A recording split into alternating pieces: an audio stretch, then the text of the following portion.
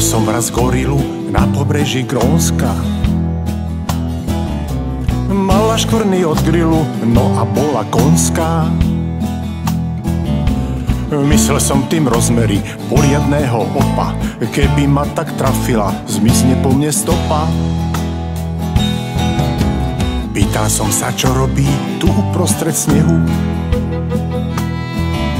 V takej zime nenájde lásku ani nehu. Prečo nejde sem ku nám, tam sa sama bojí. Tu sme medzi našimi, tu sme všetci svoji.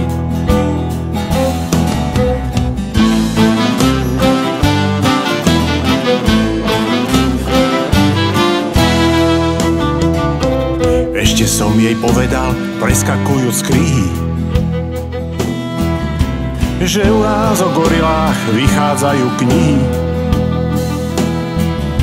Na takýto argument žiaden primát nemá, každého dnes zomelie literárna scéna.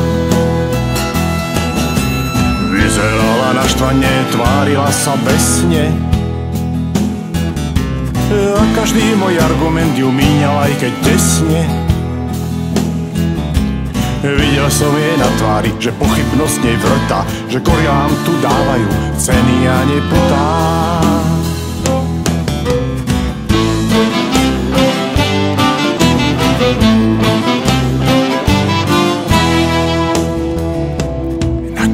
Tá gorila zamierila k domu. Diplomy si zbalila aj ploštice k tomu.